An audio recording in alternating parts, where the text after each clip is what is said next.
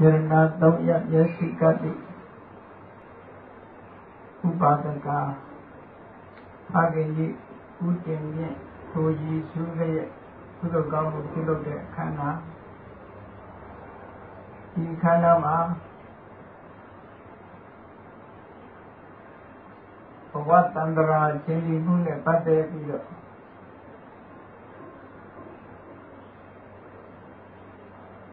တတ္တဝါတွေဟာတန်တရားထဲမှာယခုလိုပဲဘဝတစ်ခုကိုရရှိပြီးတဲ့နောက်ထိုဘဝတစ်ခုဟာဆုံးသက်နောက်ထပ်ဘဝတစ်ခုမှာထပ်ပြီးတော့မွေးဖွားလို့တန်တရားထဲမှာဒီလိုလဲနေကြတယ်ဆိုတော့တံဝေဒဖြစ်ပွားဖို့အတွက်ဘဝတန်တရားအကြောင်းအနည်းငယ်တံဝေဒယူရအောင်ဟောပြပါမယ် တန်တရားဆိုတဲ့အတိတ်ကဒီဘဝကနေဒီဘဝခုပြောင်းသွားတာလည်းပတ်နေရတယ်ဆိုတဲ့အတိတ်ကိုရဒီ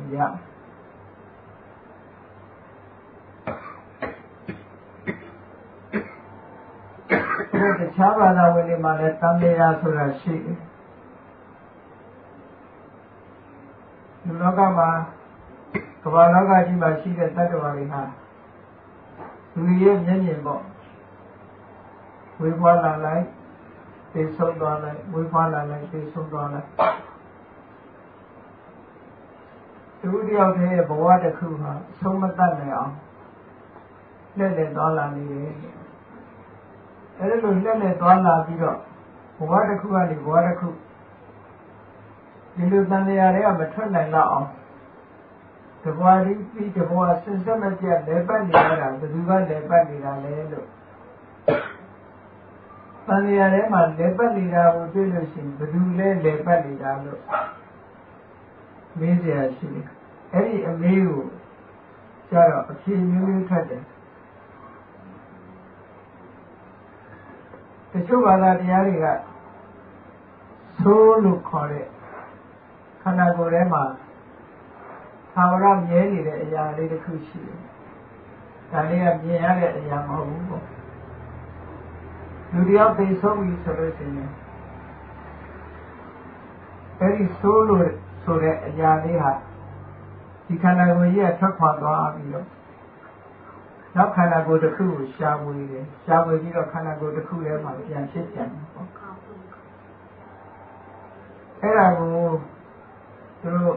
spirit လို့လည်းခေါ်တယ်ပေါ့ဒီအင်္ဂလိပ် soul လို့လည်းခေါ်တယ် spirit လို့လည်းခေါ်ဗမာလူပြောရင်တော့လက်ပြာလို့ပြောမယ်ထင်တယ်ဗမာလူမျိုးတွေကလည်းလက်ပြာပြောလို့ရှိကြရဲ့တည်သွားပြီးမကျွတ်ဘူးလို့အိမ်ပေါ်ကမဆင်းဘူးလို့ဒီလိုပြောနေကြတာနော်အဲ့ဒါမျိုးကတကယ်ရောရှိသလားလို့ခန္ဓာကိုယ်ရဲ့အနေနဲ့ဇုံခုထွက်သွားပြီးတော့ တန်ရာထဲမှာဒီဘဝကနေဟိုဘဝရောက်ဟိုဘဝနေဟိုဘဝရောက်ဆိုပြီးတော့ခန္ဓာမျိုးမျိုးပြောင်းပြီးတော့နေတဲ့သာဝရတည်မြဲနေတဲ့အရာတစ်ခုရှိသလားဘုရားမပွင့်ရဒါကိုရှင်းရှင်းလင်းလင်းဘူးမှမသိကြဘူးသိဖို့လည်းအလွန်ခက်တဲ့အရာတစ်ခုဖြစ်တယ်ဗမာလူမျိုးတွေဒီနေ့ဘုရားဘာသာပဲဖြစ်နေစေကမူဒီအစွဲလေးကမပြောက်ဘူးလို့ဒီလိုပဲယူဆရအောင်။ဘာလို့ဆိုရင်လက်ပြဆင်းသွားတယ်လို့ လက်ကြခွဲတယ်လို့ဆိုတဲ့အယူဆတွေဘဝဒီမှာရှိနေတယ်။ဒီသွားရင်နောက်ဘဝဖြစ်တယ်ဆိုတဲ့အတွေးတွေလည်းရှိနေတော့မယ်နော်။အဲ့တော့ဘုရားဘာသာစစ်စစ်ကြတော့အဲ့လိုထာဝရတည်မြဲနေတဲ့အရာဆိုခန္ဓာကိုယ်ထဲမှာတစ်ခုမှမရှိဘူး။ခန္ဓာကိုယ်ထဲမှာသဘာဝတရားတွေပေါင်းစပ်ပြီးတော့အချင်းချင်းဆက်ဆက်လို့ ဖြစ်ပေါ်လှုပ်ရှားနေတာပဲရှိတယ်။အဲ့ဒီသဘာဝတရားတွေထဲမှာဘယ်ရာကနေသာဝရမြဲပြီးတော့ဖန်ဆင်းပြီးတဏှာကနေတဏှာကူးပြောင်းသွားလာနေတာလည်းလို့မရှိဘူး။ရဲတဲ့အရာလေးတစ်ခုကထွက်ပြီးတော့နောက်တစ်ခုထဲမှာသွားဖြစ်တာလို့ဒီလိုဟာမျိုးမရှိဘူး။အဲ့တော့နားလည်ရခက်တယ်ပေါ့။တခြားဘာသာတွေမှာတော့လူတွေကလွယ်လွယ်နဲ့နားလည်နိုင်ကြတယ်။ဘာဖြစ်လို့လဲဆိုတော့ လက်ကြပဲခေါ်ခေါ်ဝိညာဉ်ပဲခေါ်ခေါ်ဆိုးလို့ပဲခေါ်ခေါ်ပေါ့လူတွေရဲ့ခန္ဓာကိုယ်တွေကနေဒါလေးကဒီခန္ဓာကိုယ်ကြီးဟောင်းလို့ပျက်စီးသွားရင်ဒီကထွက်သွားတယ်ထွက်သွားပြီးနောက်ခန္ဓာကိုယ်တစ်ခုရယူပြန်တယ်ဒါလေးကတော့အမြဲတမ်းဒုက္ခဒုက္ခကိုခံစားလို့ဘဝတစ်ခုကနေဘဝတစ်ခုကူးပြောင်းသွားလာနေတဲ့အရာလေးရှိတယ်လို့ဒီလိုယူဆကြတော့နားလည်မှုလည်းလွယ်တယ်ပေါ့နော် အကောင်းဆုံးအကြောင်းကျိုးလည်းဒီဘဝကိုပြုလုပ်တာကိုညီပြုပြီးတော့အဲ့ဒီဆိုးလေးရဲ့ဆန္ဒဒုက္ခဆိုတာဒီလိုရှိတယ်လို့ယူဆကြခုဒီကနေ့မှာရှိနေတဲ့ခရစ်ယာန်တို့မွတ်စလင်တို့ဆိုတဲ့အယူဝါဒတွေကိုကြည့်မယ်ဆိုရင်အဲ့ဒီအယူဝါဒပဲသူတို့လည်းဒါအသစ်ဆန်းမဟုတ်ဘူးရှေးတုန်းကတည်းကရှိတဲ့အယူဝါဒတစ်ခုခုကပေါ်လာတာလည်းမဟုတ်ဘူး သူတို့တမန်နေကြောင်းမို့လို့ဒီဟာပေါ်လာတာလည်းမဟုတ်ဘူးရှေးတုန်းကတည်းကဒီယူဆမှာအမတန်ဟောင်းနေတဲ့အယူဆတစ်ခုဖြစ်ဒီယူဆကိုကြော်နိုင်တာမရှိဘူးသက်သက်များမပွင့်ဘူးဆိုရင်ဒီယူဆရဲ့ဟိုဘက်ကိုကြော်ပြီးတော့မသွားနိုင်ကြဘူးဒီမှာဒီထဲမှာပဲရက်နေကြဘုန်းကြီးတို့1998ခုနှစ်ကဂျပန်ကိုရောက်သွားတော့ အဲ့ဒီဂျပန်မှာကိုရဆန်ဆိုတဲ့မြို့ရှိတယ်တောင်ပေါ်မြို့အဲ့ဒီပေါ်မှာဘုန်းကြီးကျောင်းတွေလည်းများမဟာယာနဘုန်းကြီးကျောင်းအဲ့တောင်ပေါ်မြို့မှာအကြီးမားဆုံးကဘာလို့ဆိုတင်ညာကြီးပဲတင်ညာကြီးထဲမှာလက်ပတ်ကြည့်လို့မကုန်နိုင်တော့ဘူးဂျပန်လူမျိုးတွေကအဲ့ဒီအသက်ရှင်နေတော့ မှအရေးပါတယ်လို့သိသွားတဲ့နောက်မှာလည်းပဲအလုံးအရေးပါတယ်ဆိုတာသိသွားတဲ့လူတွေအတွက်အများကြီးလုပ်ထားတယ်အဲ့ဒီတချို့ကမသိခင်တည်းကပဲအဲ့ဒီချိန်မှာနေရာဥထားတာတွေလည်းတောင်းရှိအဲ့ဒီပတ်ဝန်းကျင်မှာဘုန်းကြီးကျောင်းနေသိသွားတဲ့ပုဂ္ဂိုလ်တွေကိုရည်စူးပြီးတော့ သူတို့ရွတ်ဖတ်တဲ့စေတာတို့သူဒါနပြုတာတို့လုံးကြသူတို့ယုံကြည်ချက်အတိုင်းသူတို့ကတော့အဲ့ဒါ spirit လို့ခေါ်တာပေါ့သိသွားတဲ့လူရဲ့ဝိညာဉ်တွေကဒီထဲမှာရှိနေတယ်လို့သူတို့ယူဆတယ်အဲ့ဒီဝိညာဉ်တွေကောင်းရကောင်းကြောင်းဘဝတစ်ခုကိုရောက်ရှိဖို့ရအတွက်ဆယ်တဲ့မိသားစုကနေပြီးတော့အကူအညီပေးကြတယ်သူတို့ကောင်းပြုကြတယ်ဆူတောင်းပေးကြတယ်ဘုန်းကြီးတွေပြင်ပြီးတော့ ဆရာတရားများရွတ်ဖတ်စေတယ်လို့ခေါ်လို့ဒီလိုလုပ်ကြအဲ့တော့ဂျပန်ဂျပန်ဘုန်းကြီးတွေကလည်းဒီကိစ္စကိုဘုန်းကြီးမေးကြည့်တယ်ပေါ့လေ။ဘာဖြစ်လို့သိသွားတဲ့လူတွေကိုရည်စူးပြီးတော့အခုလိုရွတ်ဖတ်ရတာလဲလို့ဆိုတော့သူကပြောတယ်။သိသွားတဲ့လူရဲ့ဝိညာဉ်နေတဲ့ကောင်းတဲ့ဘဝတွေ့ဖို့ရတဲ့ အဲ့ဒီဝိညာဉ်တွေဟာဘဝကောင်းတစ်ခုကိုလမ်းကြောင်းကိုရှာတွေ့ဖို့အတွက်သူကဒါရွတ်ပေးတာပါလို့အဲ့လိုပြောတယ်နော်လမ်းကောင်းတွေ့ဖို့ရလို့ဆိုရင်လမ်းရှာမတွေ့နိုင်ပဲနဲ့ဝိညာဉ်ဘဝမှာဒုက္ခရောက်နေတယ်လို့ပြောရယူဆတာပေါ့နော်ကုသိုလ်ကောင်းမှုပြုပေးမယ်ယုခပေးမယ်ဆိုရင်ဒီဝိညာဉ်လေးကကောင်းတဲ့ဘဝကိုဆောင်းရောက်တန်းတန်းသူရောက်သွားနိုင်တယ်လို့ဆိုလမ်းကြောက်နေတတ်တယ်ပေါ့အဲကြောင့်ယုခပေးတယ်လို့ဆိုတော့ု န်းကြီးမေးတယ်အဲ့လိုရွတ်ဖတ်ပေးလိုက်လို့ဝိညာဉ်ဘယ်နှခုလောက်ကောင်းရသူသူရောက်သွားတယ်လို့လမ်းလမ်းတွေ့သွားတယ်ဆိုတာရောမှတ်တမ်းရှိလားလို့ပြောအဲ့လိုတော့မသိဘူးတဲ့သူတပတိမိမဲ့တို့ဒါယုံကြည်နေကြတာပဲဟုတ်ကဲ့လားမှန်ပါဗျာအဲ့ဒါကိုကြည့်ရရင်ဒါတက်တက်ယုံကြည်မှုလို့ပဲပြောမှာဘူးမှလည်းတွေ့တယ်မရှိရွတ်ပေးလိုက်လို့သူတို့ရည်ရွယ်ချက်က ရုပ်ဖတ်တဲ့စေပေးလိုက်တာနဲ့လမ်းဖြောင်းအောင်ဆိုတဲ့ရည်ရွယ်ချက်ရှိရင်ဒါဖြင့်လမ်းဖြောင်းတဲ့လမ်းကိုတွေးသွားတာဘယ်နှခုရှိလဲလို့သိရမှာပေါ့ဒါဟာမှန်ပါဗျာမသိဘဲနဲ့လုံးလို့ရှိရင်တော့ဒါမဟုတ်သေးဘူးလို့ဒီလိုတွေ့ရမှာပဲနော်မှန်ပါဗျာဟောသိတဲ့ဒီလမ်းရှိကိုရှိရမယ်ဒီလိုလုံးမလမ်းဖြောင်းတယ်ဆိုတာဘာကြောင့်ဖြောင်းလဲဘယ်နှယောက်ဖြောင်းသွားတယ်ဆိုတာရှိကိုရှိရမယ်နော်ခုအဲ့ဒီလိုမရှိဘဲနဲ့အစဉ်လာရဒီလိုပြောလို့ရွတ်ဖတ်နေတယ်လို့ဆိုတာ တကယ်တော့လေဒီဝိညာဉ်ရှိတယ်ဆိုတာဘုရားဘာသာရဲ့အသေးခေါ်တယ်မဟုတ်ဘူးမြတ်စွာဘုရားဟောတာနဲ့လည်းမဆိုင်မြတ်စွာဘုရားဟောတဲ့ဝိညာဉ်ဆိုတာအတိစိတ်အတိစိတ်လေးကမြဲတဲ့အရာမဟုတ်ဘူးသူကဖြစ်လာလိုက်ပြတ်သွားလိုက်ဖြစ်လာလိုက်ပြတ်သွားလိုက်သာဝရမြဲနေတဲ့အရာမျိုးမဟုတ်ဘူးနောက်ခရစ်ယာန်တွေမွတ်စလင်တွေလည်းကြည့်မယ်ဆိုလို့ရှိရင်ဒီဘဝကောင်းတာပဲလုပ်လို့ဆိုးတာပဲလုပ်လို့သိသွားပြီဆိုလို့ရှိရင် ဝိညာဉ်အနေနဲ့သာဝရဘုရားဆုံးဖြတ်ပေးမယ်လေးကိုစောင့်မျှော်ရမယ်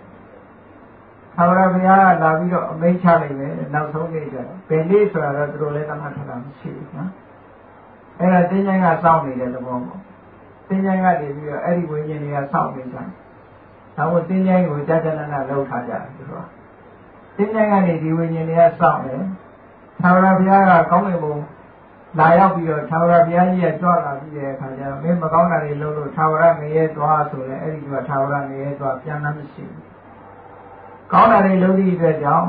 သာဝရကောင်းကင်ဘုံကြီးကိုလိုက်ခဲ့ဆိုပြီးတော့သာဝရဘုရားနဲ့အတူနေရတဲ့သာဝရကောင်းကင်ဘုံကြီးကိုလိုက်ခဲ့ဆိုလို့ရှိရင်ပြန်လာမရှိတော့ဒါကခရစ်ယာန်တို့ရဲ့အယူဝါဒပေါ့နော်မွတ်စလင်တွေကလည်းထို့တူပဲသူတို့မှဂျန်နတ်ဆိုတာရှိတယ် အဲ့ဒီဂျန်နတ်ဆိုတာကောင်းတာလုပ်တဲ့ပုဂ္ဂိုလ်တွေအဲ့ဒီဂျန်နတ်ကိုသူတို့ရဲ့အင်္ဂါရှင်မြတ်နဲ့ရဲတဲ့နေရမယ်လို့ဒါမူစလင်တွေအဲ့လိုဆိုတာမျိုးကြားရ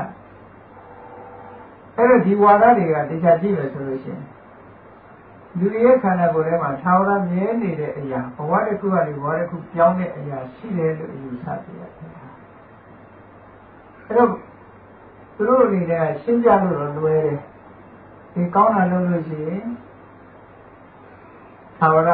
ကောင်းတဲ့ဘုံကြီးမှနေရမယ်မကောင်းတာလုပ်လို့ရှိရင်သာဝရငရဲသွားရမယ်လို့ဆိုတော့လူတွေကနားလည်ဖို့လွယ်တယ်ပေါ့နားလည်ဖို့လွယ်တယ်အဲဘုရားဘာသာတရားတော်ရကြတော့ခုနကသူ့ရဲ့ခန္ဓာကိုယ်ထဲမှာသာဝရခံရတဲ့အရာဆိုတာမရှိဘူးရုပ်နဲ့နာနဲ့ဒီမျိုးမျိုးပဲရှိတယ်ကျိုးဆိုတာကြီးကမမြဲဘူးဆိုတာဒီဘဝမှာပဲထင်ရှားတယ်လေ သူ့ရဲ့ခန္ဓာကိုယ်ကတစ်ဖြည်းဖြည်းကလေးဘဝလေးကနေကြီးလာပြီးတော့နောက်ဆုံးမှအသက်အရွယ်ကြီးအုံနေရရောတဲ့အခြေအနေမျိုးရောက်နောက်ဆုံးကြတော့ဒီရုပ်ခန္ဓာကိုယ်ကြီးကပြုံးနှံတင်းယူလိုက်ရတာဆိုတော့ဒီရုပ်ကြီးကိုကြည့်မယ်ဆိုရင်မမြဲဘူးဆိုတာသိတာဒါပြင်ထိုရုပ်နဲ့ရှင်တွဲပြီးတော့ဖြစ်နေတဲ့အသိစိတ်လေးတွေကတော့မြဲသလားလို့ဆိုအသိစိတ်မမြဲဘူးဆိုတာတော်တော်ထင်ရှားတာပဲ သိသိချာချာဟိုစဉ်းစားပြီးတော့ကြည့်ရင်ကိုယ်စိတ်လေးဟာတသမထဲနေတာမှမဟုတ်ပဲဒီတွေးပေါ်လိုက်ကြောက်သွားလိုက်ဟိုတွေးပေါ်လာလိုက်ကြောက်သွားလိုက်ဟိုတွေးပေါ်လာလိုက်ကြောက်သွားလိုက်နော်ယုတ်ကြီးကကြောင်းတာသိမမြန်ဘူးစိတ်ကြောင်းတာပုံမြန်ယုတ်ကလေ7နှစ်15နှစ်အမဲဒီယုတ်ပဲနဲ့ပြောကြတာပဲနော်ဟိုမသွားသေးဘူးဒီယုတ်ကြီးဒီယုတ်ပဲစီကံလူတွေကပြောကြတယ်မှတ်မိနေကြစိတ်ကတော့အဲ့လိုရတာ ရပါဗျာဒါသိမြန်တဲ့စိတ်ကပြန်ကြောင်းတယ်ဆိုတာဒီပြတ်သွားပြီးတော့မှအတိတ်တစ်ခုဖြစ်တာကိုပြောတာနော်မှန်ပါဗျာဒါလေးတစ်ခုတည်းကဟိုလိုဖြစ်လိုက်ဒီလိုဖြစ်လိုက်မဟုတ်ဘူးဖြစ်လာလိုက်သူတက်တန်းလိုက်ကြောက်သွားတာကျက်ကြောက်သွားပြီးနောက်တစ်ခုပေါ်လာလိုက်နောက်အကြောင်းတစ်ခုကြောင့်နောက်တစ်ခုပေါ်လာလိုက်စိတ်လေးကအလွန်လင်မြန်နဲ့နှုံးနဲ့ဖြစ်ပြီးတော့ပြက်နေတာအဲ့ဒီပြက်နေတဲ့စိတ်ဝိညာဉ်လေးကို ရဲပါလေဘဝတန်တရားဒီဘဝဒီဟိုဘဝကိုသွားတယ်လို့ဒီလိုယူဆနိုင်ကြအကြောင်းပါတစ်ခုမှမရှိဘူးဒီချာတွေးကြည့်လိုက်လို့ရှိရင်စိတ်ဆိုင်ကအလွန်လင်မြန်နဲ့နှုံသားနဲ့ဖြစ်ပြီးတော့ပြက်နေတာဆိုတာဒီဆင်ញစဉ်းစားကြည့်လိုက်လို့ဆိုရင်သိနိုင်တဲ့အနေအထားရှိ။အဲ့လိုဆိုတော့ကြည့်တယ်စိတ်ဆိုးနေတဲ့အခါဖြစ်တဲ့စိတ်လူကျင်လောဘဖြစ်နေတဲ့အခါစိတ် ပျော်ရွှင်နေတဲ့အခါဖြစ်တဲ့စိတ်တွေတူလားမှန်ပါဗျာမတူဘူးဆိုသိထင်ရှားတယ်စိတ်ဆိုးနေတဲ့စိတ်ကလည်းခဏတည်းရုပ်ပဲစိတ်ဆိုးပြီးကြကြစိတ်ပြေသွားတဲ့အခါပဲရောက်တော့မှမသိတော့နော်မှန်ပါဗျာဒါစိတ်ဆိုးနေတဲ့စိတ်လေးကတည်ပြီးတော့ဟိုဘဝကိုသွားလို့ဘယ်လိုလုပ်ရမှာတော့စိတ်ဆိုးတာလည်းခဏပဲလေပျော်တယ်ဆိုတဲ့စိတ်လေးလည်းဒီခဏပဲဆိုတော့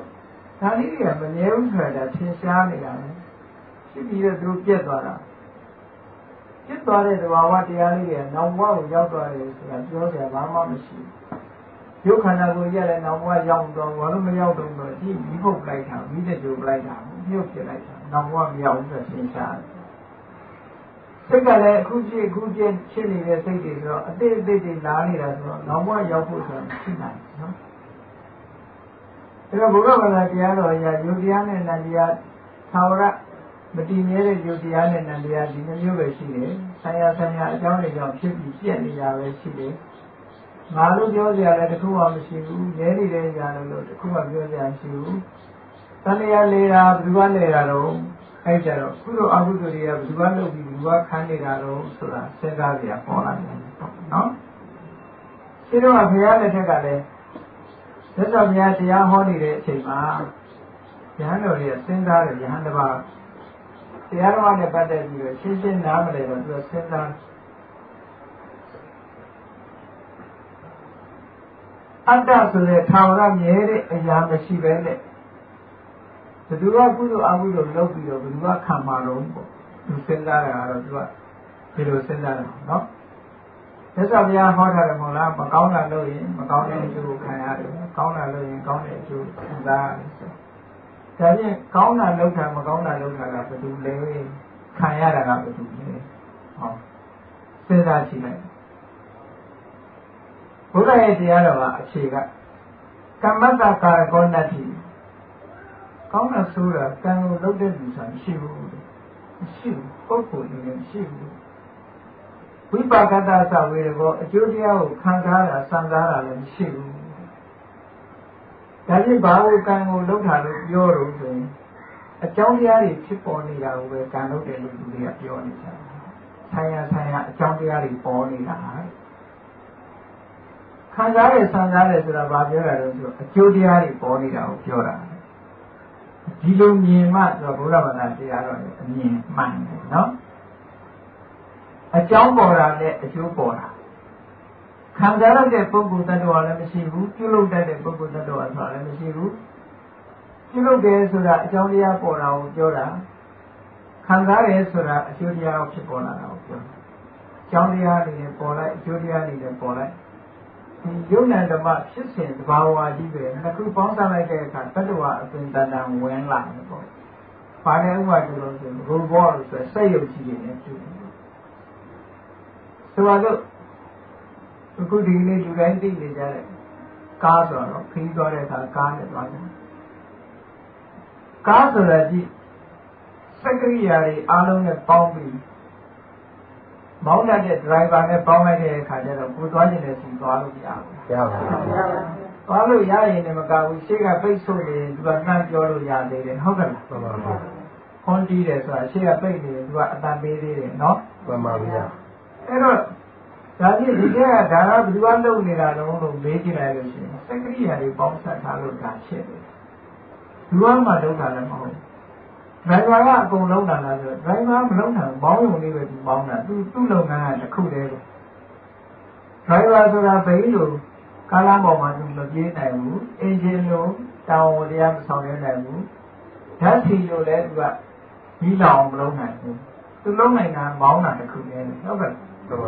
ဓာတ်စီရဲ့အလုပ်ကိုဒရိုင်ဘာမလုပ်ဘူးအင်ဂျင်ရဲ့အလုပ်ကိုလည်းဒရိုင်ဘာမလုပ်အင်ဂျင်ကအင်ဂျင်အလုပ်လုပ်တယ်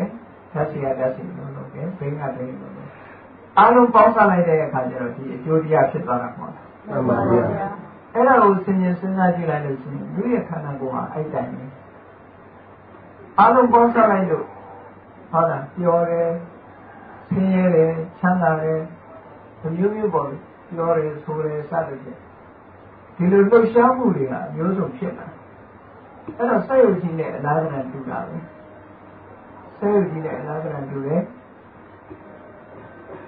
တကယ်တော့လေတရားစီဖြတ်ကြည့်လိုက်မယ်ဆိုရင်ဘာမှရှာမတွေ့တော့စက်ရုပ်ကြီးထဲမှာဘယ်သူကစကားပြောနေတာတော့လို့တရားစီဖြတ်ကြည့်လိုက်ရှိပါအောင်မရှိပါပါဗျာရှိတော့မော်ဒီကားနဲ့ဒီစက်အစိတ်ပိုင်းတွေတရားစီတရားစီဖြုတ်ပြီးပုံထားလိုက်မယ်ဆိုရင်ခုနကလို သွားလာနိုင်မှုဆိုရင်စွမ်းအားတစ်ခုမရနိုင်တော့စွမ်းအင်လည်းရှိစွမ်းအားလည်းရှိတော့နော်လူလည်းလူတွေနဲ့ဒီလိုတရားစီဆိုလို့ရှိရင်ဘာမှမဖြစ်တော့အောက်ဆက်နေတဲ့အချိန်မှာသူကလှုပ်ရှားမှုအသင်တရံတွေဒါတွေပေါ်နေပေါ်နေတဲ့အခါကျတော့လူတွေမှာဘာအတွေ့ဝင်လာလို့ဆိုလို့ရှိရင်ဒီထဲမှာဥဆောင်လှုပ်ရှားနေတဲ့ဒီ သာဝရမြဲနေတဲ့အရာတစ်ခုရှိတယ်သူကနေပြီးတော့ဆောင်ရွက်နေတယ်လို့စိတ်ထဲမှာဒီလိုမြင်လာကြတယ်လူတွေအဲ့လိုမြင်လာတဲ့အမြင်ကိုအကြောင်းပြုပြီးတော့တန်ရာလေတာလည်းသူပဲကောင်းတာဆိုတာလောက်တာလည်းသူပဲခံစားတာလည်းသူပဲလို့ဒီလိုမြင်လာကြတကယ်တော့ဘုရားတရားတော်အရာဒီလိုမဟုတ်ဘူးဒါကြောင့်မို့မြတ်စွာဘုရားကတုံညလို့ခေါ်တာနော်တုံညဆိုတာ ငါလို့ပြောကြရတယ်တခုမှမရှိဘူးငါဟာလို့ပြောကြရတယ်တခုမှမရှိဘူးတစ်ပင်ကြီးတွေကိုကြည့်လိုက်တစ်ပင်ကြီးတွေကြည့်လိုက်လို့ရှိရင်ထိုတစ်ပင်ဟာမျိုးစိတ်လေးကနေပြီးတော့ရေနဲ့ရေနဲ့ပေါင်းစပ်ပြီးတော့တစ်ပင်ဖြစ်တာဖြစ်လာပြီးတဲ့အခါကျတော့မြမကအပူတွေတို့ဇာတိဥရုတို့အနေထားကြည့်ပြီးတော့သူကပွင့်တဲ့အခါပွင့်တယ်ပြီးတဲ့အခါပြီးဘယ်သူကမှမင်းပြီးချိန်တန်ပြီးပြီးတော့လို့ပြောတာလည်းမရှိဘူးပွင့်ချိန်တန်ပြီးပွင့်တော့လို့လည်းမပြောဘူး ဆရာဆရာအကြောင်းတရားတွေကြောင့်မို့လို့ဒါဖြစ်လာဆရာဆရာအကြောင်းတရားတွေကြောင့်မို့လို့ပေါ်လာအပွင့်ပေါ်လာလိုက်အပြီးပေါ်လာလိုက်အချိန်ကျတော့ဒီအပြီးလေးတွေကျူကြတော့ပြန်လိုက်တယ်ဒီလိုလဲပတ်ပြီးတော့နေတာဆရာဆရာအကြောင်းတရားတွေပေါ်မှာမူတည်ပြီးတော့ဖြစ်တယ်အဲ့ဒီဖြစ်ပင်ထဲမှာငါလို့ပြောစရာရှိလားဆိုမရှိဘူးသူဆိုင်ရာဆိုင်ရာအကြောင်းတရားတွေကြောင့်ဖြစ်ငါဟာလို့တတ်မှတ်စရာလည်းတစ်ခုမှမရှိ လူရဲ့ခန္ဓာကိုယ်မှာလည်းပဲထို့တူပဲဒုတရားတွေကဆိုင်ရာအကြောင်းတရား၄မျိုးရှိတယ်ကံစိတ်ဥတုအာဟာရဆိုအကြောင်းတရား၄မျိုးထိုအကြောင်းတရား၄မျိုးပေါ်မှာမူတည်ပြီးတော့လူရဲ့ခန္ဓာကိုယ်ကယုတ်တရားကြီးတွေကဖြစ်ပြီးတော့ရှင်တန်ဖြစ်ပြက်ပြီးတော့ဒီလိုနေတာဆရာဆရာအကြောင်းတရားတွေမရှိဘူးဆိုရင်ဒါတွေဖြစ်မှာမဟုတ်ဘူးအဲ့ယုတ်တွေထဲမှာငါလို့ပြောစရာလည်းတခုမှမရှိဘူးဘာဖြစ်လို့လဲဆိုတော့ အကုန်လုံးငါလို့ထောက်ပြလိုက်တဲ့အချိန်မှာသူကရွေ့သွားပြီးမရှိတော့ဘူးထာဝရတည်မြဲနေတာတခုမှမဟုတ်ဘူးတခုပြီးတော့တခုဖြစ်တယ်တခုပြီးတော့တခုဖြစ်နေတယ်ကြောင်းလွဲနေတဲ့အရာကြီးဆိုတော့ငါလို့ပြောစရာတခုမှမရှိစိတ်ဆိုတာဒီတဲ့ဉာဏ်နဲ့အကြောင်းတရားတွေကြောင့်ဒီတဲ့ဉာဏ်နဲ့နှောင်းနဲ့ဖြစ်ပြပြီးတော့နေတာဆိုပို့ပြီးတော့ငါလို့ပြောစရာမရှိတော့ငါဟာလို့လည်းပြောစရာမရှိဘူး ဒါကိုငါဟာလို့တတ်မှတ်လိုက်တဲ့တကယ်လည်းသူကပြောင်းသွားပြီရှိတော့ပြတ်သွားပြီငါဟာလို့တတ်မှတ်လိုက်တဲ့ဟာတွေကပြတ်သွားတတ်မှတ်တဲ့အချိန်ပိုင်းလေးတွေနဲ့အကုန်ပြည့်စည်သွားတယ်ဆိုတော့ဟောအဲ့လိုဆိုလို့ရှိရင်တန်ရာဘယ်သူကလဲနေတာလို့မေးကြရှိတယ်ဒါကြောင့်လို့ဘုရားလက်ထက်ကမြတ်စွာဘုရားတရားဟောနေတဲ့အချိန်မှာရဟန်းတော်ကဒီအတ္တဆိုတဲ့မြဲတဲ့အရာမျိုးတွေနဲ့ ဒီကုသိုလ်ကံအကုသိုလ်ကံတွေကိုဘယ်သူကခံပြီးဘယ်သူကစမ်းနေတာတော့လို့ဒီအတွေးဝင်လာအဲ့ဒါလို့အတွေးဝင်လာတဲ့အခါကျတော့မြတ်စွာဘုရားကဝိညာဏပဋိစ္စသောပံဘယ်ရာပဲဖြစ်ဖြစ်အကြောင်းပေါ်မှာမှီပြီးပြီးတော့ဖြစ်နေတာ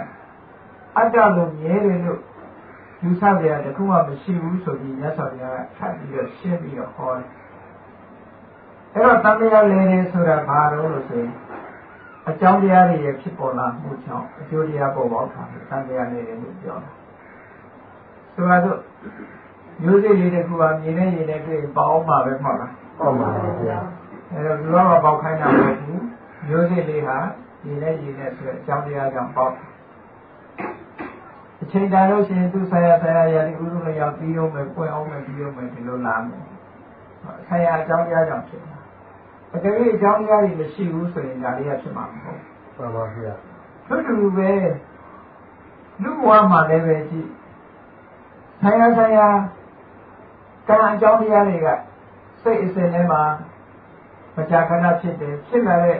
အကြောင်းတရားတွေကဒါအင်နာဂျီစွမ်းအားတွေစွမ်းအင်တွေအနေနဲ့ဖြစ်လာတယ်အဲ့ဒီစွမ်းအင်တွေဟာတခြားအကြောင်းတရားတွေနဲ့ပေါင်းလိုက်တဲ့အခါစွမ်းအားအဖြစ်ရောက်သွားတယ်ဆိုတော့မျိုးစိတ်လေးဟာ သူ့ထဲမှာတစ်ပင်ပေါင်းနေတဲ့စွမ်းအင်လေးရှိတယ်အဲ့ဒီစွမ်းအင်တွေကမြေနဲ့ရေနဲ့ပေါင်းစားလိုက်တဲ့အခါတစ်ပင်ဖြစ်ပေါ်လာမှုဆိုစွမ်းအားတစ်ခုရအဲ့ဒါလိုပဲသူ့ရဲ့စိတ်အစဉ်မှာလည်းပဲထို့တူပဲစွမ်းအင်လေးတွေကဆံရဆံရအကြောင်းကြောင့်စုမိသွားတဲ့စွမ်းအင်လေးတွေဟာအကြောင်းတရားတွေပေါင်းလိုက်တဲ့အခါကျတော့စွမ်းအားဖြစ်ရောက်တာတတ္တဝါလိုလိုဘာလိုလိုယောက်ျားလိုလိုမိန်းမလိုလိုလူလိုနတ်လိုပေါ့လို ပုံစံအမျိုးမျိုးတွေဖြစ်လာအဲ့လိုသဘောတရားကတော့သုဒ္ဓဓမ္မပဝတ္တန်တိတကယ်ဓမ္မသက်သက်သဘာဝတရားသက်သက်ပဲရုပ်ဆိုတဲ့သဘာဝတရားသက်သက်နာမ်ဆိုတဲ့သဘာဝတရားသက်သက်တတ္တဝါလို့ခေါ်ကြအကြောင်းရှိပဲနဲ့သူ့အကြောင်းနဲ့သူဖြစ်နေတာလို့ဘုတ်စွာဘုရားကဒီလိုမြင်ရမယ်လို့ခေါ်တယ်နော် ကမ္မတကာရကောတတိဝိပါကတသဝေရကောသုဒ္ဓဓမ္မာပဝတ္တန္တိဧဝေတံသမ္မတ္တနာကမ္မတကုသကံအကုသကံဆိုတာကိုကာရကောပြုလုပ်တဲ့တ attva ဆိုတာလည်းမရှိဘူး။ဒါရှိမရှိဘူး။ဝိပါကတသဝေရကောအကျိုးတရားကိုခံစားရတဲ့ပုဂ္ဂိုလ်တ attva ဆိုတာလည်းမရှိမရှိဘူး။သုဒ္ဓဓမ္မာပေါ်တန်တိအကြောင်းတရားအကျိုးတရားတဏ္ဍ အကြောင်းတရားတွေပေါ်လာလိုက်အကျိုးတရားတွေဖြစ်လာလိုက်အကြောင်းတရားပေါ်လာလို့အကျိုးတရားတွေဖြစ်လိုက်သုဒ္ဓဓမ္မာအကြောင်းတရားအကျိုးတရားဓမ္မတက်တက်တည်တာနဲ့ပေါ်တန်တိဖြစ်လာတယ်ဧဝံတသမ္မတ္တနာဒီလိုအမြင်ဟာမှန်ကန်တဲ့အမြင်လို့ပြောတယ်တဏှာဟုတ်ကလွတ်ဖို့ဆိုတာဒီအမြင်မျိုးမရှိရင်တဏှာဟုတ်ကမလွတ်နိုင်ဘူး။ဘာလို့တတ္တဝါလို့ယူဆထားလို့ရှိရင်တဏှာဟုတ်ကလွတ်ဖို့အကြောင်းမရှိတော့ဘူး။မှန်ကန်တဲ့အမြင်တစ်ခုရနိုင်တယ်။ အဲတော့အကြောင်းတရားတွေဟာတစ်ခုနဲ့တစ်ခုပေါင်းစပ်ပြီးတော့အကြောင်းကအကျိုးထုတ်။ဆိုပါတော့သစ်ပင်ပေါက်လာဖို့အတွက်ဒီဘက်မှာအဲ့ဒီမှာအမိန်ပေးစိတ်ခိုင်းနေတဲ့အရာမရှိဘူး။မျိုးစိတ်လေးထဲမှာသူကအပင်ပေါက်နိုင်တဲ့စွမ်းအားလေးတွေရှိတယ်စွမ်းအင်လေးတွေရှိတယ်ဒီတွေးလေးတွေရှိတယ်အဲ့ဒါလေးကရေနဲ့ရေနဲ့တွေ့လိုက်တဲ့အခါကျတော့အပင်ပေါက်လာတယ် အကယ်၍ရေနဲ့ရေနဲ့မတွေ့ဘူးဆိုတော့အပင်မပေါက်နိုင်အဲ့တော့ကြည့်လိုက်တော့မျိုးစိတ်လေးထဲမှာရှိတဲ့စွမ်းအင်ရဲ့ရေရေရေရဲ့စွမ်းအင်ရဲ့အဲ့ဒီအကြောင်းတရားတွေပေါင်းစားလိုက်တဲ့အခါတစ်ပင်ဆိုတာကြီးဖြစ်လာတာအဲ့ဒီမှာဖြစ်လာတဲ့တစ်ပင်ထဲမှာခိုင်မြဲတာရှိရလားလို့ရှိဘူးသူကအားလုံးအကြောင်းပေါ်မှာမိတည်ပြီးတော့နေတာ သူ့ရေကအများအားထောက်ပံ့နေရမယ်လေတို့လေတို့ကလည်းအများအားထောက်ပံ့နေရမယ်ခုခေတ်ပြောအောက်ဆီဂျင်တို့ဘာလို့ပေါ့နော်မှန်ပါဗျာအကယ်၍အဲ့ဒါတွေပြတ်သွားပြီဆိုရင်ဒီတစ်ပင်ရှင်းတန်နိုင်ပါ့မလားရှင်းပါပါဗျာဒီရှိတယ်၆သွားမှာပဲဟုတ်ကဲ့မှန်ပါဗျာနေအောင်မရှိလည်းပဲရှင်းတန်နိုင်မှာမဟုတ်ဘူးဆိုင်ရဆိုင်ရအကြောင်းတွေကထောက်ပံ့ထားတဲ့ဆရာအလုံးချင်းစားဒါကြောင့်မလို့တစ်ပင်ဆိုပြီးတော့ဘုရားမှာဒီလိုဖြစ်တယ်လို့ပြော လူရဲ့ခန္ဓာကိုယ်ကြီးကလည်းဒီတိုင်းပဲရုပ်နဲ့နာနဲ့ပေါင်းစပ်ပြီးတော့ဟောအကြောင်းအဖြစ်ဖန်တီးလိုက်တယ်ထိုအကြောင်းတွေပေါင်းစုမိသွားတဲ့အခါအကျိုးတွေပေါ်နေတယ်အကြောင်းအကျိုးမရက်တန်သေးတဲ့မြတ်အကြောင်းအကျိုးဆက်ပြီးတော့ဖြစ်နေအောင်ပါပဲလို့ဒီလိုဆုံးတာနော်အဲ့တော့တန်ရာထဲမှာဘယ်သူကလေလို့ဘယ်သူကခန္ဓာဘယ်သူကနေပြီးတော့ခံစားဆန်းစားတာလို့ဘယ်သူမှမရှိဘူး တစ်ပင်ကြီးထဲမှာလည်းဘယ်သူကပွင့်တာတော့ဘယ်သူကသီးတာတော့လို့မေးလို့ရှိရင်ဘယ်သူမှမရှိဘူးဟုတ်တယ်မဟုတ်တစ်ပင်ကြီးကဘယ်သူကပွင့်တာတော့လို့ပြောလို့လည်းမရဘူးဘယ်သူကသီးတာလို့ပြောလို့မရဘူးအကြောင်းအကျိုးတွေပေါင်းစပ်သွားတဲ့အခါဖြစ်လာတဲ့သဘောများတာရှိတယ်ဆိုတူပဲလူဘဝမှာလည်းဘယ်သူကခံစားပြီးဘယ်သူကလုပ်လို့ဘယ်သူကခံစားရတယ်ဆိုတာမျိုးမရှိဘူးတဲ့။ဘာဖြစ်လို့လဲဆိုတော့လူစိတ်ပဲကြည့်လေဒီ ဖြစ်အကြောင်းအနေနဲ့ဖြစ်ပေါ်လာတဲ့စိတ်ကလေးရဲ့အချိန်ကတစ်ခုအကျိုးအနေနဲ့ခံစားရတဲ့အပိုင်းကတစ်ခုဆိုတော့ဟောတခြားပြီဖြစ်တခြားပြီဖြစ်အစဉ်ဆက်နေတာရှိနေတာ process လို့ခေါ်တဲ့ဖြစ်စဉ်တစ်ခုအနေနဲ့ကဒီဒီမှာသက်ဆိုင်တယ်လို့ပြောနေကြတာနော်အဲလူတွေမှာသက်ဆိုင်မှုကဘာလို့ဆိုရင်တရံဆိုတာလေးရှိတယ်ပေါ့ process ဆိုတာရှိတယ် ကိုယ့်ရဲ့တရံဆိုတာလေးရှိ line လေးတော့ရှိတာ line ရှိတယ်ဆိုတာခုနကဒီဘဝမှာလူတရားမှာကုသိုလ်လုပ်တယ်အကုသိုလ်လုပ်တယ်ဒါသူ့ရဲ့ဒီ area လေးတစ်ခုပေါ့အဲ့ဒီ area လေးတစ်ခုဟာဒီပုဂ္ဂိုလ်တယောက်ရဲ့ဘဝတစ်ခုလို့ဒီလိုသတ်မှတ်ပြီးတော့ပြောကြတာဒီလူတယောက်နဲ့သက်ဆိုင်တဲ့ယုံနာတရားတွေဒီ အစင်ထာဝရတန်တရားထဲမှာဒီလူတယောက်နဲ့သက်ဆိုင်တဲ့တန်တရားလည်မှုနောက်ဘဝဖြစ်မှုဒါမျိုးတွေပဲဖြစ်လာ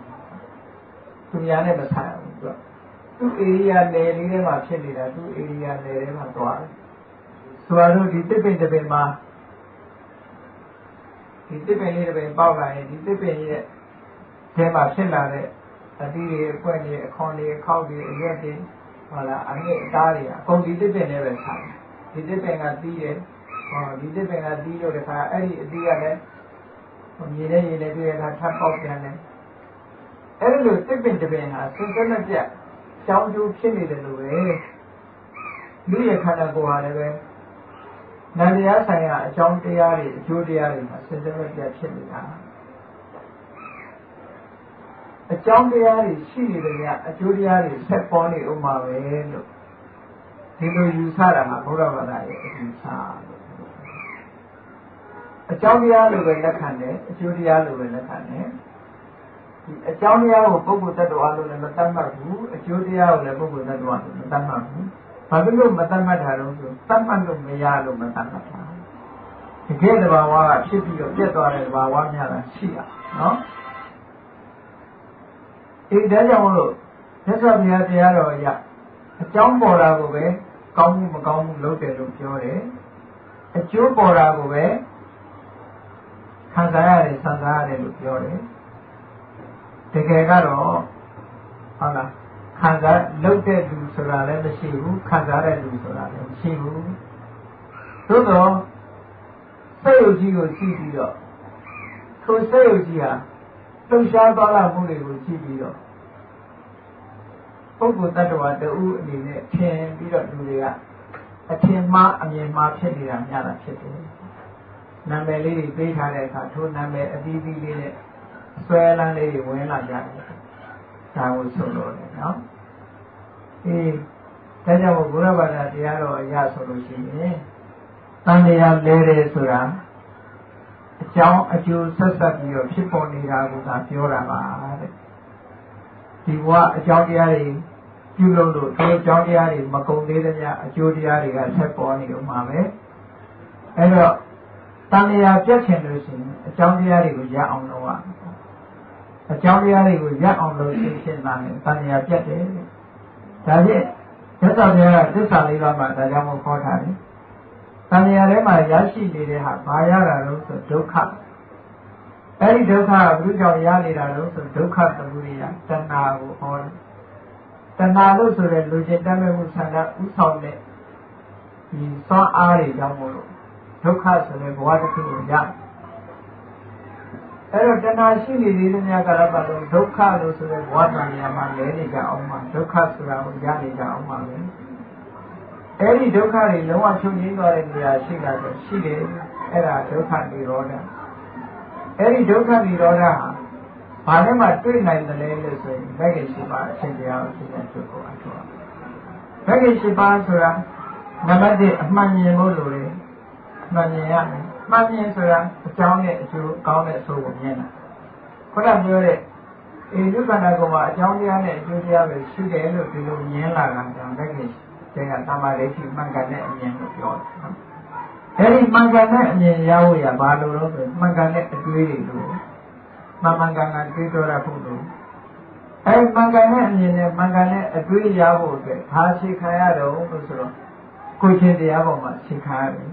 သမ္မာဝါစာသမ္မာကမ္မန္တကမ္မအာသု။ဘာဖြစ်လို့ကိုချင်းတရားကိုဆွေခံရတယ်လဲဆို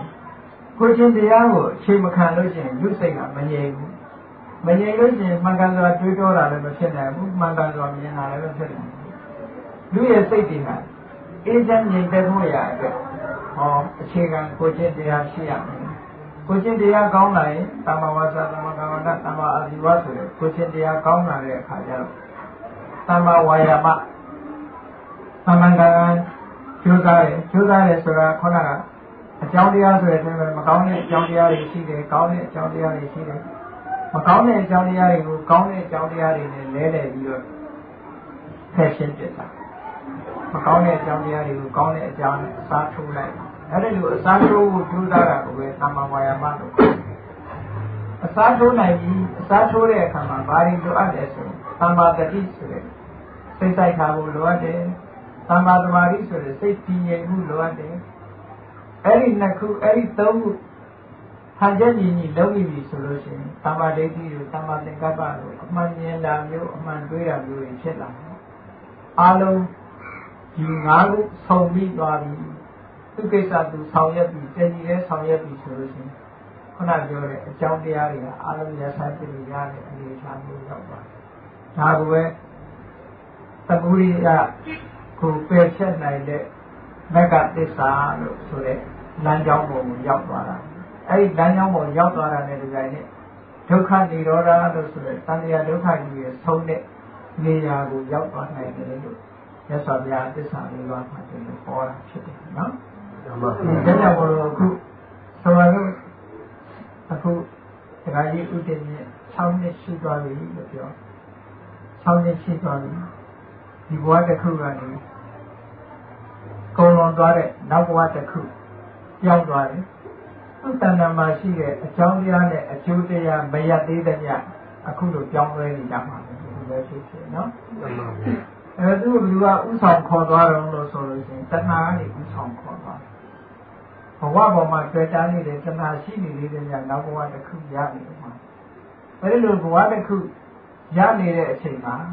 ဒီမှာကြာရတဲ့မိသားစုကဘုလိုကောင်းမှုပြုတယ်ဆိုတာသူ့အတွက်အကျိုးရှိသလားဆိုတော့သူ့အတွက်အကျိုးရှိတာမရှိတာလေဘုလိုကောင်းမှုပြုလုပ်တာဘာလို့လို့ဆိုလို့ရှိရင်တွေ့ရင်ခုနက မကောင်းတဲ့အကြောင်းတရားတွေကိုဖယ်ရှားပြီးကောင်းတဲ့အကြောင်းတရားတွေအစားထိုးနေတာလို့ဒီလိုပြောတာနော်မှန်ပါဗျာမကောင်းတဲ့အကြောင်းတရားတွေကိုဖယ်ရှားပြီးကောင်းတဲ့အကြောင်းတရားတွေကိုအစားထိုးခြင်းဖြင့်အမှန်မြင်ဖို့အတွက်လမ်းခင်းပေးနေတာပေါ့မှန်ပါလဗျာမ်းခင်းပေးနေတာဆိုလိုတာကဒီဒုက္ခကိုအမှန်မြင်ဖို့ဒုက္ခသမုဒယကိုဖယ်ရှားနိုင်ဖို့မက္ကသစ္စာအချက်တရားကိုရှင်းပြီးနောက်ဆုံးမှာဒုက္ခនិရောဓဆိုတဲ့နိဗ္ဗာန်ကိုမြင်လာနိုင်ပြီပေါ့ အဲ့ဒါကြီးမြင်လာဖို့အတွက်ကောင်းတဲ့အကြောင်းနဲ့မကောင်းတဲ့အကြောင်းကိုအစားထိုးဖယ်ရှားပြစ်ခြင်းပဲဖြစ်တယ်ဘုရားမြတ်စွာဟောကြားတဲ့တရားတော်အရာလူဆိုတာမရှိဘူးမရှိပဲအကြောင်းတရားကိုပြင်ပေးလို့ရတယ်တဲ့အကြောင်းတရားကိုပြင်ပေးရတယ်ခုဆိုပါစို့ဘုန်းကြီးတို့တွေရဲ့စိတ်တွေမှာစိတ်ဆိုတာအလုံးဉာဏ်နဲ့နှောင်းထားတဲ့ဖြစ်ပြီးတော့ပြတ်နေတာစိတ်ကိုဖြူစင်အောင်ထားဆိုဘယ်လိုဖြူစင်အောင်ထားရမလဲ ဘုန်းကြီးတို့ဒေတာလန်တော်ကအမျိုးကြီးပြကနေဦးတယ်ဘုရားဘာသာဖြစ်စားတယ်သူတို့ကစဉ်းစားတယ်ဘယ်လိုလေးလို့ဆိုသက်တော်ပြန်ဟောတဲ့တရားတွေမှာတဲ့စိတ်ဆိုတာအလုံးဉာဏ်နဲ့လို့လည်းဟောတယ်တဲ့ဖြစ်ပြီးချက်ချင်းကျက်သွားတယ်လို့ဟောတယ်တဲ့ဒီဘက်ကလည်းပဲစိတ်ကိုဖြူစင်အောင်လုပ်ရမယ်လို့ဟောတယ်ဒါတော့ဖြစ်ပြီးအမြန်ကြီးနဲ့ပြက်သွားတဲ့စိတ်ကိုဘယ်လိုဖြူစင်အောင်လုပ်မလဲမေးတာဟုတ်ကဲ့ပြက်သွားတဲ့ကြီးကိုဘယ်လိုလုပ်ဖြူအောင်လုပ်မလဲ ဖြူအောင်လုပ်မလို့ကြိုးစားတော့မှပြက်သွားပြီလေမရှိတော့အဲဘယ်လိုလုပ်ဖြူအောင်လုပ်ရမလို့ဆိုအေးမှန်တယ်ဖြူအောင်လုပ်ဆိုလည်းအဲ့ဒါကိုပြောတာမဟုတ်ဘူးပြက်သွားတဲ့စိတ်ကိုဖြူအောင်လုပ်ခိုင်းတာမဟုတ်ဘူးစိတ်ဆိုတာဆရာဆရာအကြောင်းကြောင့်ဖြစ်နေတာအဲဆရာဆရာအကြောင်းကြောင့်ဖြစ်နေတဲ့အကြောင်းတရားတွေမှာအတွင်းမှားနေတဲ့အာယောနိတော်မနတိကာရရှိရင်စိတ်ဟာညစ်သေးတယ် အတွင်းမှန်တဲ့ယောနိတော်မနတိကာရပြောင်းပေးလိုက်လို့ရှိရင်စိတ်ဟာဖြူစင်တယ်ဥပမာပဲလူတယောက်ဒေါသဖြစ်နေဒေါသဖြစ်เสียအကြောင်းလေးကြီးတွေးလို့ရှိရင်ဒေါသဖြစ်နေမှာပဲအဲ့ဒီဒေါသဖြစ်เสียအကြောင်းတရားကိုမေ့ကျလိုက်ပြီးတော့စိတ်နဲ့เสียအကြောင်းနဲ့အစားထိုးလိုက်တယ်ဆိုလို့ရှိရင်ဒေါသဖြစ်သေးလားဖြစ်တော့မဖြစ်တော့ဘူးအဲ့ဒေါသမဖြစ်တော့လည်းစိတ်ကျဉ်းနှံမှုရသွားတာဒီပြင်စိတ်ရှုစင်သွားတာလို့ပြောတာနော် မှန်ပါဗျာ အဲ့တော့အကြောင်းတရားကိုအစားထိုးလဲလဲပေးခြင်းဒီစိတ်ကိုရှုစင်အောင်လုပ်တယ်လို့ပြောတာနောက်ဖြစ်ပေါ်လာတဲ့စိတ်တွေကဒေါသနဲ့မတွဲတော့ဘူးရှုစင်တဲ့စိတ်ကလေးကိုဖြစ်လာတယ်လောဘနဲ့တွဲနေတဲ့စိတ်ကလေးကိုရှုစင်အောင်လုပ်ခြင်းထိုလောဘရဲ့အာယုံကိုဖယ်ရှားပြီးတော့သဘာဝတရားကိုဆင်ခြင်စဉ်းစားလိုက်လို့ချင်းထိုလောဘဆက်မဖြစ်နိုင်တော့ဘူးရပ်ဆိုင်သွားတယ်အရေးကြီးတွေရပ်ဆိုင်သွားတာနဲ့ကောင်းတဲ့ရှုစင်တဲ့သဘောတရားလေးတွေဝင်လာတာကိုပဲစိတ်ကိုရှုစင်အောင်ထားတယ်လို့ပြောတာ အဲ့ဒီလိုနီးနဲ့ဖြူစင်အောင်လုပ်ရတယ်စိတ်အစဉ်မှာထာဝရဖြူစင်နေအောင်ကောင်းတဲ့အကြောင်းတရားနဲ့မကောင်းတဲ့အကြောင်းတရားတွေကိုအစားထိုးလဲလှယ်ခြင်းလို့ဒီလိုမှတ်ရမှာပေါ့နော်မှန်ပါဗျာအဲ့ဒီလိုအစားထိုးလဲလှယ်လို့ရှိရင်မကောင်းတဲ့အကြောင်းတရားတွေကိုဖယ်ရှားပြပြီးကောင်းတဲ့အကြောင်းတရားတွေကမိမိတဏ္ဍာမှာဖြစ်လာလို့ရှိရင်ကောင်းတဲ့အကျိုးတရားတွေနဲ့နောက်ဆုံးဟာဒုက္ခကိုဖြစ်ပေါ်စေတတ်တဲ့အကြောင်းမကောင်းတဲ့အကြောင်းတရားတွေအလုံးလုံးဝရဆိုင်တော့ပြီးတော့ကောင်းတဲ့အကြောင်းတရားတွေကဖြစ်ပေါ်ပြီး သန္တာဒုက္ခခံစားနိုင်တယ်အဲ့တော့ဘဝတန်တရားမှာတန်တရားထဲမှာဝင်သွားတဲ့အခုဒီတန်တရားတယ်လို့ဘဝတစ်ခုဆုံးသက်သွားတဲ့ပုဂ္ဂိုလ်ဘဝထဲမှာတန်တရားထဲမှာရောက်သွားဒီဘဝကနေပင်လုံးလို့တောင်းဘဝရောက်သွားတဲ့ပုဂ္ဂိုလ်တရားကိုဒီဘဝကကုသိုလ်လုပ်တာကုညီပေးလို့ရသလားလို့ဆိုတော့သေချာတာတော့မဟုတ်ဘူးလေနော်မှန်ပါဗျာ။ဘာဖြစ်လို့လဲဆိုလို့ရှိရင်တတေချာတဲ့ဤစနစ်ကတော့မရှိဘူး ဘာဖြစ်လို့ဤစနစ်မရှိတယ်လဲဆိုရင်တေသွားတဲ့ပုဂ္ဂိုလ်ဟာသူ့ကုသိုလ်ကောင်းမှုအရာလက်ဖြစ်နေတာလည်းဖြစ်နိုင်တယ်လက်ဖြစ်နေလို့ရှိရင်လည်းမလိုအပ်တော့ဘူးလူဖြစ်နေလို့ရှိရင်လည်းဒီကအကူကြီးပေးဖို့မလိုအပ်တော့ဘူးငရဲကြနေလို့ရှိရင်လည်းလက်လန်းမမိတော့ဘူးသူ့အနေနဲ့ဒီကကိုယ့်ရဲ့ကုသိုလ်မရနိုင်ဘူးနော်နောက်တရိစ္ဆာန်ဖြစ်နေလို့ရှိရင်လည်းသူသိနိုင်စွာမရှိသည့်အတွက်ကြောင့်ဒီကကုသိုလ်ကောင်းမှုအကျိုးသူခံစားရမှာမဟုတ်ဘူး စိတ်ဓာတ်ဘဝရောက်နေလို့ဒီကကုသိုလ်ကောင်းမှုပြုတာတွေကိုသူကရှင်းတန်းပြီးတော့ဝန္တာပီတိဖြစ်လို့ရှိရင်ကတော့အဲ့ဒီဝန္တာပီတိဆိုတဲ့သူ့ရဲ့တဏ္ဍာမှာဖြစ်တဲ့ကုသိုလ်စွမ်းအားတွေကသူ့ဘဝကြီးတစ်ခုလုံးကိုကောင်းတဲ့အကြောင်းတွေအစားထိုးပေးနိုင်တယ်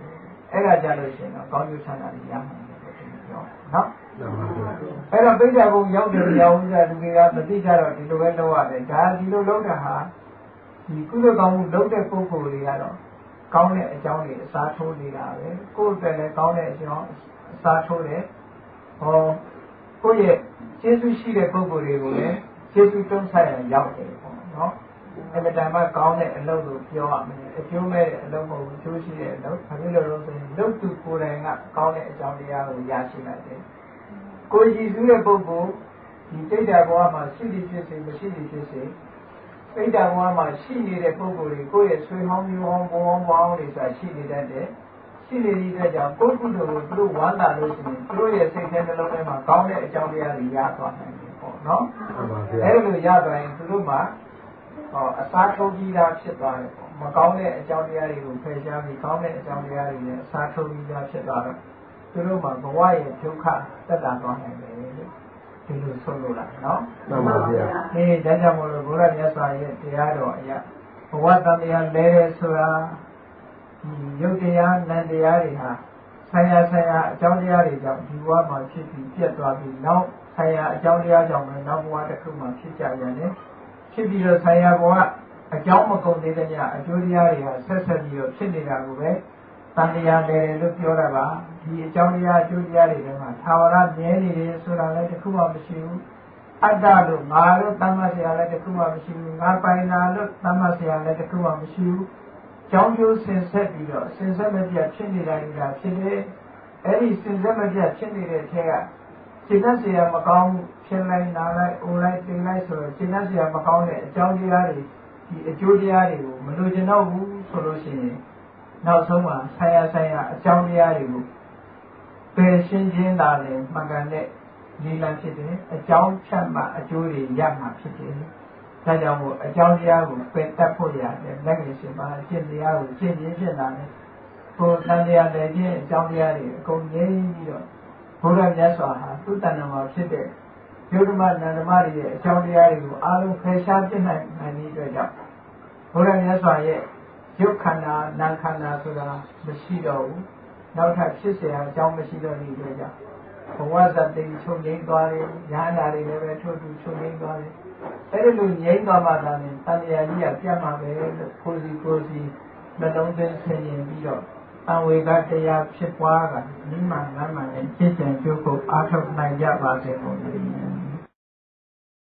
မိမှန်ငမ်းမှန်နဲ့จิตကြံကျုပ်ကိုအားထုတ်နိုင်ကြပါစေကုန်သတည်း။ မိမှန်ငမ်းမှန်နဲ့จิตကြံကျုပ်ကိုအားထုတ်နိုင်ကြပါစေကုန်သတည်း။မိမ